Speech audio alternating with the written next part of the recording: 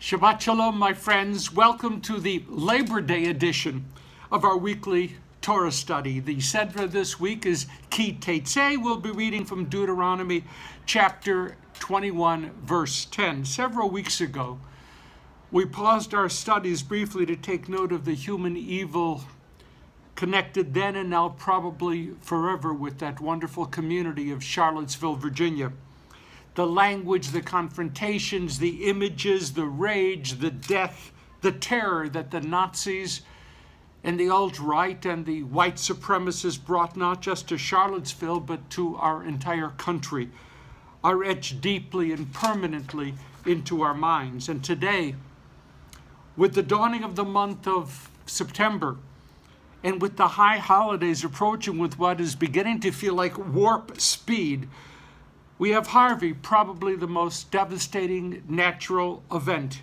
ever to hit our country.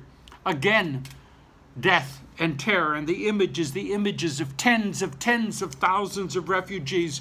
One that grabbed me of residents in a nursing home sitting in their wheelchairs, unable to move, with the water rising to their chest, waiting, hoping, praying for rescuers to arrive. And in this particular case, they, in fact, did arrive in time. People stranded on rooftops, streets that have become raging rivers, sweeping away all that was encountered. So much has been lost. So many have died. So much unexpected suffering will now shape the lives literally of millions and the incredible number of civilian volunteers who joined the police and the National Guard and the Army and the Coast Guard and the Navy, volunteers from all across the country putting their humanity to work without any thought of reward or recognition. That was beauty in the midst of hell. Job long ago taught us that we human beings have absolutely no idea. We're clueless about the nature of the workings of the universe. But as the sun returns to Texas and hopefully soon to Louisiana as well, the light of goodness shining from those individual acts of people just caring for people will forever be remembered. We pray for all of the victims of Harvey. And after praying, we in fact are called upon to undertake acts of loving kindness, to reach out to those in need, to make their lives, if possible, just a little bit easier. Okay, to our text.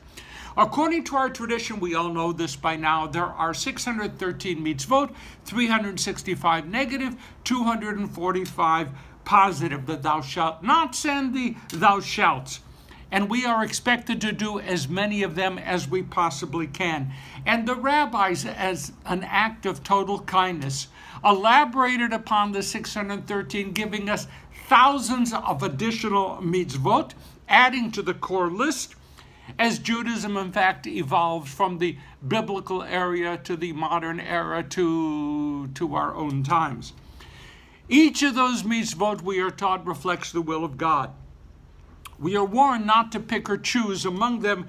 We can prioritize, but only in the case of an emergency. For example, in order to save a human life, we can, in fact, we must violate Shabbat. But that's the exception. But let me share a little secret with you. There is a mitzvah in this week's Sedra that the rabbis quietly, privately noted was the very least of all of the mitzvot. Deuteronomy 22 6, check it out. If you come upon a bird's nest and the mother is sitting upon her eggs, and you need to gather those eggs for food, then do not take the mother with the eggs, drive her away, and then take the eggs, and you will be rewarded with long life, a tiny act of kindness. I can't tell the entire story here, but some 2,000 years ago, one of the greatest of all of Jewish teachers, Rabbi Elisha ben Abuya, was literally driven from his faith when he observed someone trying to follow this least of all mitzvot and who died in the act. Elisha ben Abuya was outraged and abandoned his faith. If you've never read As a Driven Leaf, the book name As a Driven Leaf, do yourselves a favor. read the entire story there. It's, it's absolutely a treat. But in the same Sedra as this least of all of the mitzvot is to be found, so do we found one of the most find one of the most consequential of all the mitzvot, that dealing with divorce. Found Deuteronomy chapter 24, verses 1 through 4 in our Sedra.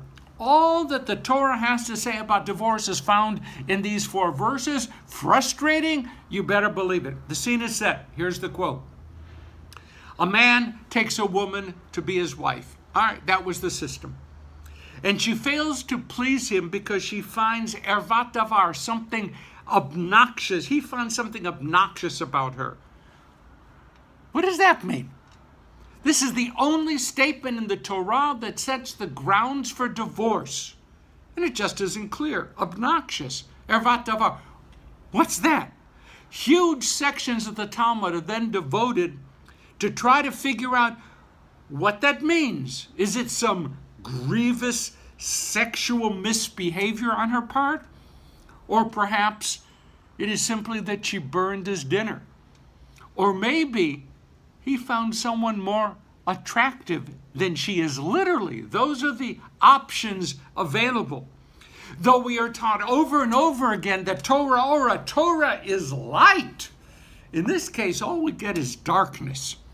In this critical matter, there is an unpleasant lack of clarity. Okay, so we don't know what the grounds of divorce are, but let's read on. And he writes her a bill of divorcement hands it to her, and sends her away from his house. The Hebrew for bill of divorcement, what is the word? Get. We know the word get. A get is the legal document given by a man to a woman according to the halacha that allows her then to remarry. So the husband gives her a get. Oh, but what's a get? Where is it defined? Where is it described? Nowhere in the Torah. Again, there are lengthy discussions in the Talmud that try to describe exactly what a get should be. How many lines? What language? How is it handed to her? Could an agent be involved in handing it to her? Uh, but the Torah text doesn't help us at all here. It seems that the only clarity in these four verses is to be found in the very last verse. And what is that clarity? He hands her a get she goes out, gets remarried, and for whatever reason her husband dies or they're divorced, she may not remarry her original husband. The whole point of those four verses is to deal with that very last verse how not to enter a forbidden remarriage. Everything else was secondary, at least according to the author. The grounds for divorce in the Torah, unclear. The text of the divorce document in the Torah, unclear. All that is really clear is that the active agent here is the man, and that's a pity. Even as I believe that a couple, whatever the genders, should have a religious document, a ketubah, that reflects the moral, ethical, religious basis for a marriage. So do I believe that a couple that is divorcing should share a document that dissolves their union with clear concern for religious, moral, and ethical standards. Now, the rabbis worked out all of the missing details some 1500 to 2000 years ago, and those details reflect the behavioral standards of 1500 or 2000 years ago. Fine, it's not in the Torah. So the rabbis did what they felt to be logical and appropriate for their day. But so much of what they created in this matter is, in my eyes, patently offensive.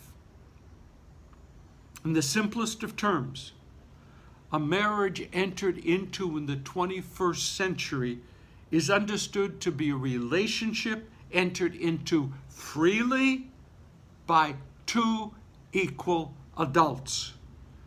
And a divorce in our day should be no different.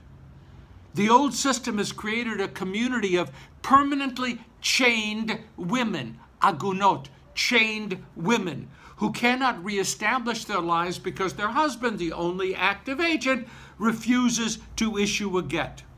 A summary. The system of fundamentally empowering men over women cannot just be tinkered with. It needs to be replaced. The system of making a marriage into a prison for the woman cannot just be tinkered with.